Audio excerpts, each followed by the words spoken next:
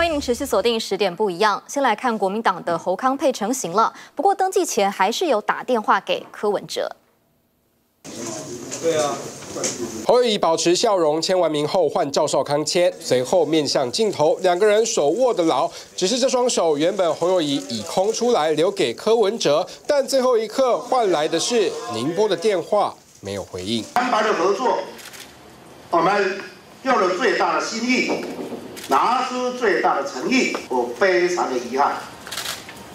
到刚刚我要进门之前，我还再度打电话。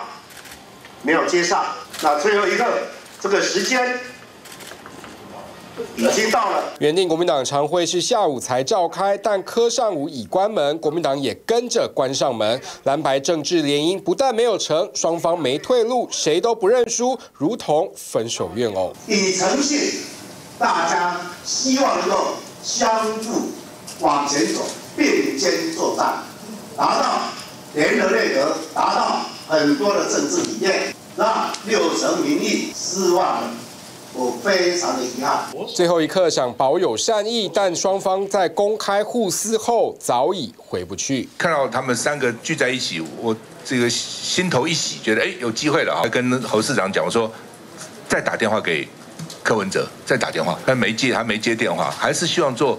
最后的努力了哈，就是说，如果他愿意回心转意，那我参不参选根本不重要，我真的就是临危受命。也知道啊，这个选战不好打，但是呢，没关系啊，这个我一辈子哈，从来没有做什么是容易的事情。而侯康配正式成型，只是对手从一人变两人。侯康配叫做好康配，能侯康啊。让人民有好康，何家在更得力。但是哦，我对你今天讲的话有一点意见。可是我们要分工，我只负责北北基，不是指啊，主要负责了。啊，太客气了，客气什么？喝了喝了。国民党副总统参选人赵少康向以往主持的政论节目来宾告别。这节目主持那么久哈，呃，依依不舍了，觉得蛮可惜的哈。政媒要有奋际了哈，所以只好忍痛。忍痛请辞，这样暂时告别主持棒。赵少康要当国民党选战机关枪，正好补足侯友谊相对较缺乏的政治议题攻防。本省外省两人互补。我们是呃分进合集，一定要选赢这个选战啊，就是分进合集，所以他才讲说他顾中南部。他找我的时候就说，他说蓝军哦你负责，北部你负责，中南部我负责。我也跟侯市长讲了，我说。我不会是一个没有声音的副总统，哦，以前副总统没声音嘛，对不对？哦，我不会是一个没有声音的副总统，我意见会很多的。赵少康也曝光点头始末，有一部分竟然和周杰伦有点关系。是周杰伦在海外，包括中国大陆办的演唱会，都是我弟弟主办。黑道常常要挟持他们，要不然就要办演唱会了，要不然就要拍电影了。对台湾的黑道在澳门挟持，还拿枪，他的整个处理的经过，我就知道这个人。有谋略，有步骤，有胆识。这个黑道住在淡水，但是他常常不在。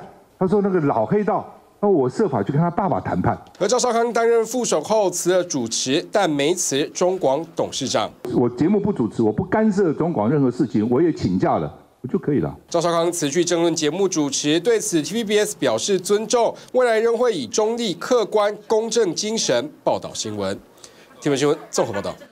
而柯文哲会和吴欣怡搭档，他说：“人民是心中最后的底线。”最好选择台湾会赢。正式揭晓柯银配，民众党正副总统参选人柯文哲搭档吴欣盈，截然不同的 style，很互补。选副手的时候，我就在思考说，怎样可以达到最大的互补性？他是在英美留学哦。然后从事的是什么社会公益事业？我这种从小在台湾土生土长。四十五岁的吴欣盈具财经背景，星光家族的身份被称为星光公主。在前雅虎大中华董事总经理周开莲婉拒后，就成为呼声最高人选。二十四号上午，跟另两位口袋名单前北市副市长邓家基、总干事黄珊珊经过内部投票后，由吴欣盈胜出，将携手柯文哲迈向二零二四最后一里路。柯文哲一定当要是。台湾的柯文哲，台湾的柯文哲必须坚定不发，坚守民主专业价值。我从来没有想过有一天我必须站在民进党政府的对立面。身为在野势力的领袖，我有责任挺身而出。要许给大家一个美好台湾，人民就是心中底线。柯银配的组成也宣告蓝白合破局，尽管不能结合次要敌人，却也要先认清首要目标。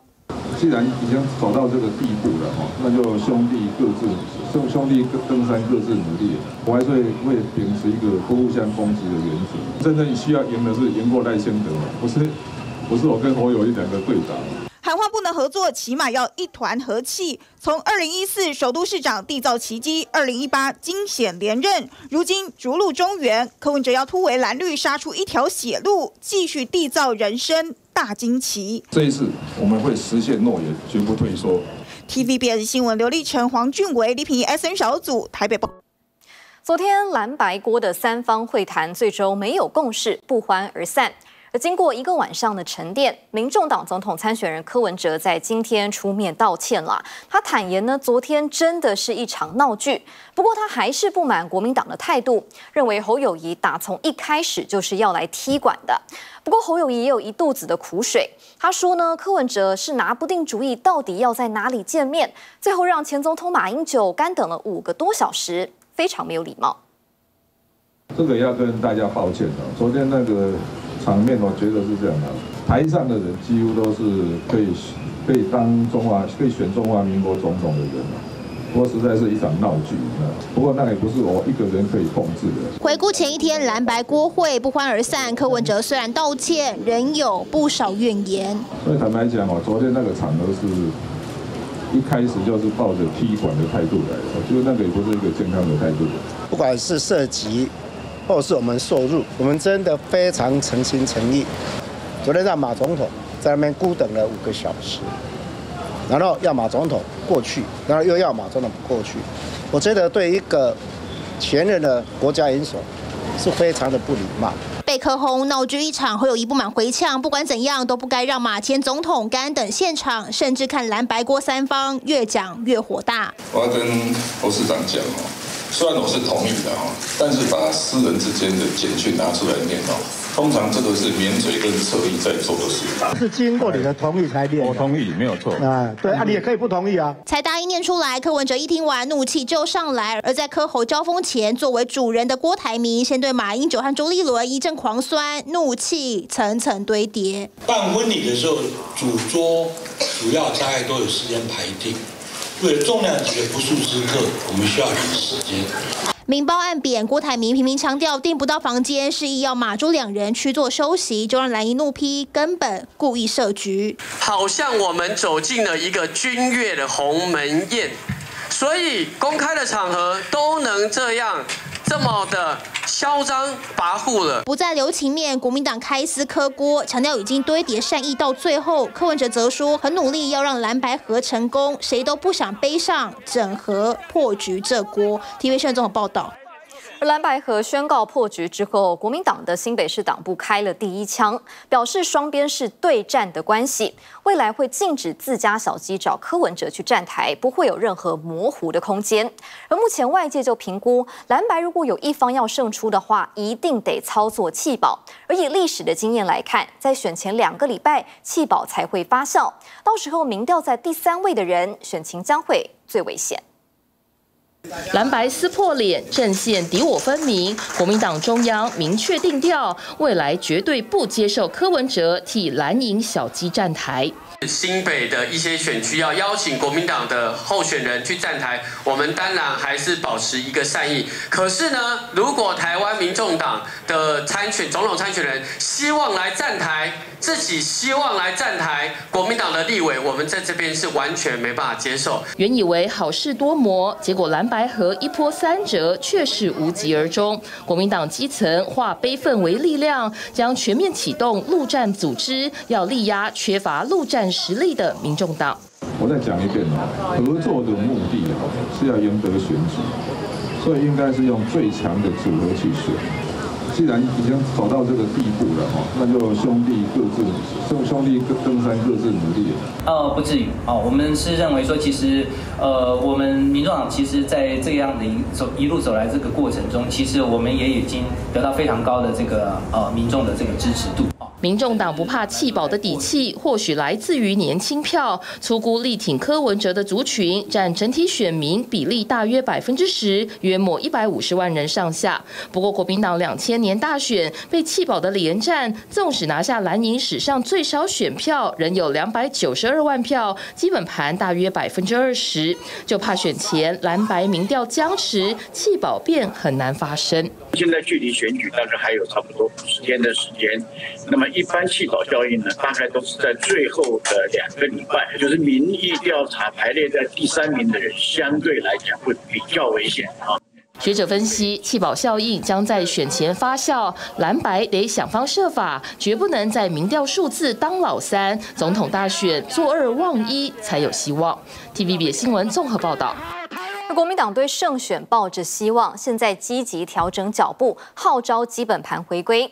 党主席朱立伦就说，他跟侯友谊两个人昨天是备受屈辱，都等不到蓝白合作，接下来当然是要义无反顾走自己的路，也正式发布了全党动员令。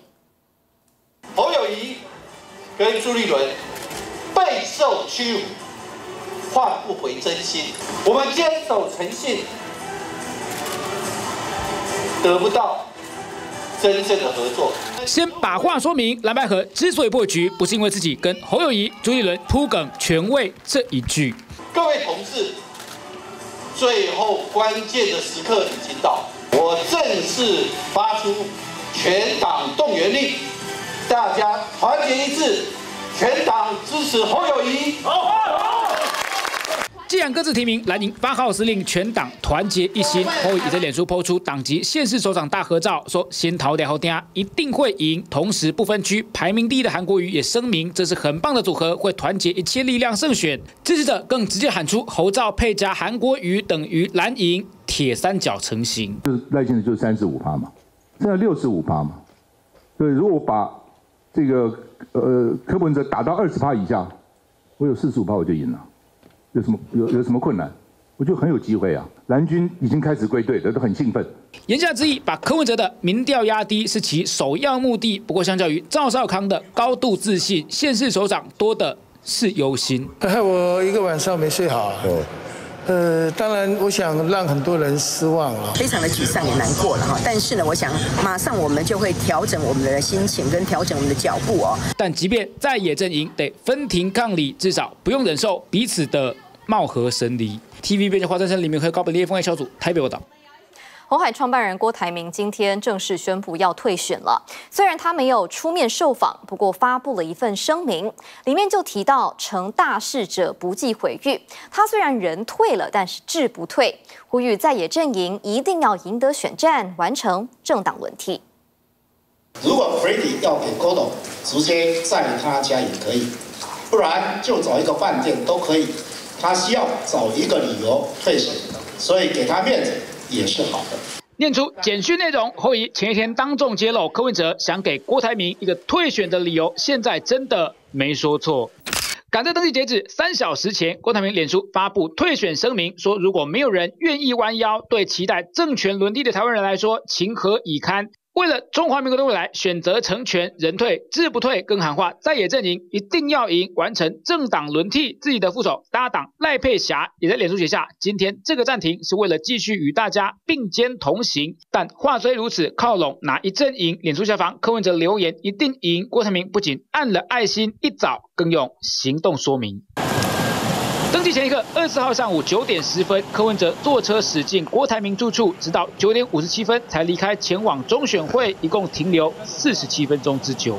郭台铭，你如何回应九十多万帮你联署的这一些民意？难道你跟柯文哲一样，把这些支持你的人都只是当做利用的工具？况且过去郭台铭在蓝营初选失利后，曾在脸书承诺全力相挺。侯友谊愿意说去团结支持，那这多少对他个人的诚信会有一些伤害。但您跟柯文哲其实理念上是有一些不一致的地方。在九二共识方面，柯文哲是说过没有九二共识，只有九六共识。虽然学者分析有些疑虑待厘清，但宣布退选的郭台铭，短短三小时里窜升大陆新浪热搜榜第一名，引发两岸热议。TVB 全华真城中央台风险小组台北报道。而民众党方面呢，柯文哲是跟吴新颖组成柯银配。柯文哲主要是看准了吴新颖的欧美留学背景，还有财经领域丰富的工作经验，认为可以跟自己作为互补。不过吴新颖也常常被外界贴上不食人间烟火的公主标签。他本人说呢，这样的标签是一体两面的，所以不会放在心上。当立法委员的时候，我说一天当三天用，那现在剩五十天而已，我就是最后的。呃，时间呃，最后五十天呢，一天当五天用。要跟柯文哲一起嗡嗡嗡，吴欣颖从立委晋升副总统参选人，不是没有端倪。目前美国呢跟台湾呃进入这所谓的 FTA 的话是不可能的。今年四月跟着柯文哲访美，曾在美国求学的吴欣颖懂得避开敏感议题，从商业交流下手，两度跟柯文哲赴美都备受倚重。英文流利的他，很多人不知道，其实得意买通。哪里买什么陶吉盖？呃，给你讲义。多谢。直询处女秀身上穿的山寨一身，跟手上拿的爱马仕凯利包意外成为焦点，当时还被质疑。这样为民喉舌没有说服力，但柯文哲却认为是助力。他的生活背景跟我是截然不同，哦，他是在英美留学，哦，然后从事的是什么社会公益事业，跟我这种从小在台湾土生土长的，哦。两人背景真的不一样。看看吴欣颖，从小出生在美国，在美国拿下国际关系、美术史双学士，随后到英国攻读文学硕士，毕业后在伦敦担任投资分析师。二零零三年回台担任星光人寿慈善基金会执行长。二零一九年被民众党提名不分区，直到二零二一年才递补上阵。短短一年多的时间，又变成民众党副总统参选人。有声音认为跟他是星光大公主有关系。其实。被人家贴标签，我不是太在意。公主这个抬头当然是两面的，她其实可能光鲜亮丽的一面。五月份接受 TVBS 看板人物专访时，吴欣颖说不在意公主这个标签，就像柯文哲说的多元包容，也展现在这次的总统组合上。TVBS 新闻李国仁、韦佳琪台北采访报道。另外来关心是以巴冲突，虽然现在是休战的状态，哈马斯也要释放第一批十三名的人质，是以色列出动军用直升机到埃及去载人。不过以色列国防部长强调，四天之后还是会继续攻击哈马斯，继续来找寻人质，所以估计呢，这战事可能还要再持续两个多月。而这对加萨的经济来讲，无疑是个最坏的消息。因为过去呢，加萨的失业率其实将近有五成，唯一的希望就是快速成长的科技业。不过这一场冲突，让很多才刚刚萌芽的新创直接走进了坟墓。走在北加萨被轰得粉碎的街道，以色列没有停手。开着大型坦克、装甲车铲除每一道墙，像是要把加萨给掀了。以军大车入小巷，哈马斯就躲在不到五公尺的地方静静埋伏。就算是只能用 RPG 对战坦克，也没在怕。以色列对加萨进攻都快要满两个月，哈马斯还有能力反击，这恐怕比原本预估的还难以瓦解。以色列目前锁定北加萨的贾巴利亚难民营、西法医院、加提难民营和加萨市区行动。说在一处看似正常的民宅住所里面，却有机关通往地道。And then you can see the structure that we already seen of the staircase. A spiral staircase. 以军还用空拍视角指控，在西法医院的卡达大楼旁就有一座地道井，而以军深入地道发现，这里有如哈马斯的地下总部。We have toilets. You can see a small kitchen that were built in order to contain people. But this room is an operational room that had communication with electricity. 厨房、厕所一应俱全，房间里还是贴好瓷砖的，一点都不简陋，甚至还装了这个。This air conditioning goes above the hospital. One of the reasons that allows us to understand this complex is we found the engine of the air conditioner, of course, outside. 有冷气机，有床架。以军怀疑这里就是卧室或是休息室。Look at the ceiling. It's not just a regular tunnel. This is a high facility compound. 而以色列电视台还直击，就在西法医院旁，还有一群民众没有离开。小男孩说，怕被哈马斯攻击，当做人肉盾牌，才没有逃。而一旁的大人们则是。يعني في البداية أمنوا على نفسهم أخذونا وفحصونا ولقونا ما علينا علينا شيء اهتموا فينا 解释说，以军没有伤害平民。以军指控哈马斯是常年寄生在西法医院的底下，水电都是搭医院的便车。医院真的不知道哈马斯的存在吗？It doesn't happen. How could a general manager of a hospital know not know about the extent of this? 就是因为心存质疑，以色列传出还抓走了西法医院的院长，这让加萨卫生部跳出来抗议。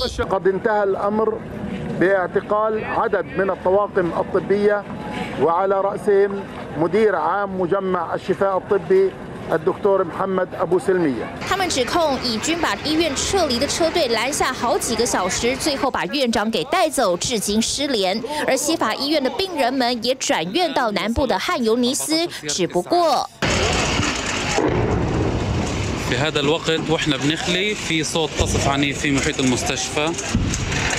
加沙民众对于以色列如今说的停火协议是完全没信心，还有许多人是等不到停火，命丧家园。像是这一名加萨网红，战争前他拍美景景点，但是开战之后变成了战争直播。We now wake up at 5 a.m. to queue for bread. We now walk more than six kilometers to fill up a gallon of salty or fresh water. 一段段在战火中的记录，就像在写生存日记。直到有一天，他说。This might be my last video. 在影片中，他不断呼吁世界勿忘加萨人民的苦难， 但是没有想到，他和家人真的不幸在空袭中丧命，只剩下这些影片记录战争的残酷。TVB 新闻综合报道。而俄乌战争其实已经持续将近两年的时间了，还是有欧洲国家持续在援助乌克兰。像是德国方面呢，就提供十三亿欧元的反坦克飞弹，还有榴弹。可是国际社会对这场战争似乎已经感到有点疲乏了。美国媒体就报道，拜登政府是想要继续挺乌克兰的，不过共和党呢是把更多的注意力都放在以巴冲突上。乌克兰第三突击旅士兵冲下装甲车，立即和敌军爆发激烈枪战。乌兵一边往前冲，一边猛力开火。从乌克兰士兵头盔上的镜头可以感受到巴赫姆特两军的激烈战火。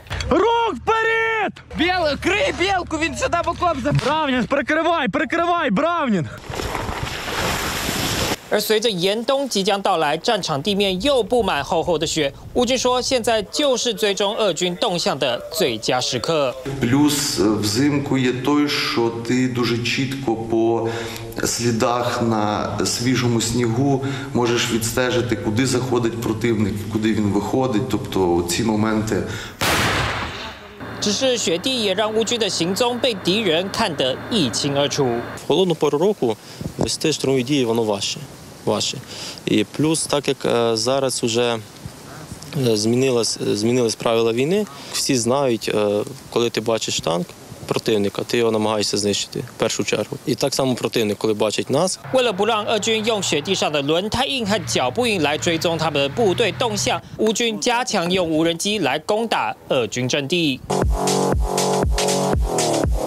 乌。克兰无人机锁定俄军坦克，俯冲自撞，敌军的坦克瞬间陷入一团火球。